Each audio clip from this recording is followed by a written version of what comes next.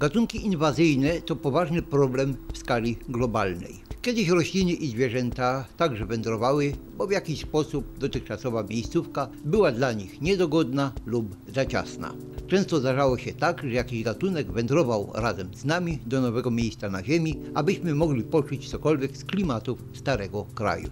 Jest jeszcze chęć wzbogacania ogrodów osobliwymi gatunkami z obcych stron. Te również nierzadko uciekają i jakoś odnajdują się w nowym miejscu.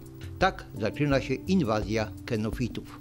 Od pewnego czasu w świat ruszyły mchy. Gatunkiem inwazyjnym z tej kategorii jest tytułowa krzywłoszczeć przywłoka, Campylopus introflexus, rodem z Australii. Ten gatunek tworzy rozległe poduszki lub zielone dywany. Jak roślina wygląda, pokazuję na filmie.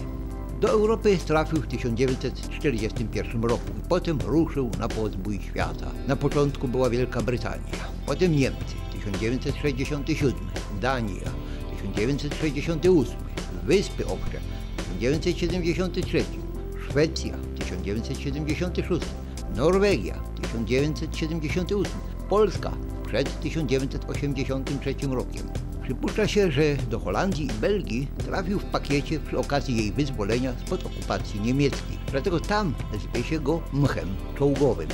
Osobiście po raz pierwszy spotkałem go w 2018 roku w Piasecznej koło Węglińca. 29 marca 2019 roku po raz pierwszy odnalazłem ten gatunek w Jaworznie, a dokładnie w południowej części lasków pomiędzy drogą 79 a Przemszą. Obecną sesję filmową także wykonałem w tej okolicy.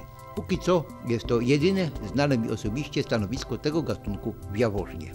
Mech po świecie sam jakoś tak sobie wędruje, bo rozmnaża się przez zarodniki oraz fragmentację łodyżek. Jak każdy zielony najeźdźca zaburza zastane ekosystemy. Niektóre z nich po latach jakoś wracają do normy.